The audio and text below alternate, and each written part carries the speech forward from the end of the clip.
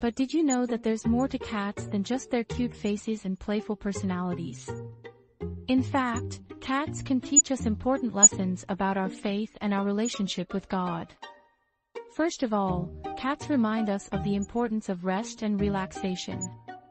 They know when it's time to take a break and recharge, and they do it without any guilt or shame. As Christians, we can sometimes feel like we have to be constantly busy or productive, but God tells us to rest and trust in Him. In Matthew 11 verse 28, Jesus says, Come to me, all you who are weary and burdened, and I will give you rest. So let's learn from our feline friends and take time to rest in God's presence.